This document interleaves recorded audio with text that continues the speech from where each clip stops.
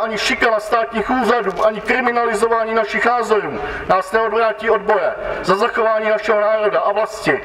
Pokud by se někdo v budoucnu stalo, že i současná dělnická strana bude z nějakých malicherných důvodů zrušena, jako její předchůdkyně, tak vznikne dělnická strana číslo 3, 4, 5, 6, 10 a naše práce bude dále pokračovat.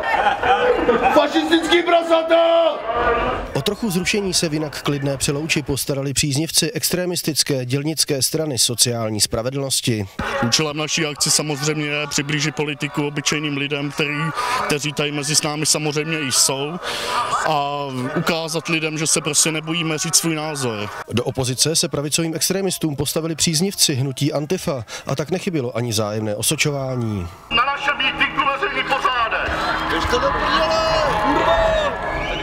Na místě jsme žádné protiprávní jednání neřešili, pouze jsme upozornili přihlížející, kteří zde pokřikovali, že se dopouští protiprávního jednání nebo mohli by se dopustit eventuálně nějakého protiprávního jednání. Toto jednání bylo zadokumentováno a bude v tuto chvíli vyhodnoceno a případně postoupeno k dalšímu, k dalšímu opatření. Sobotní odpoledne hlavně díky přítomnosti a převaze policistů nakonec běžný klid Přelouči demonstranti nenarušili.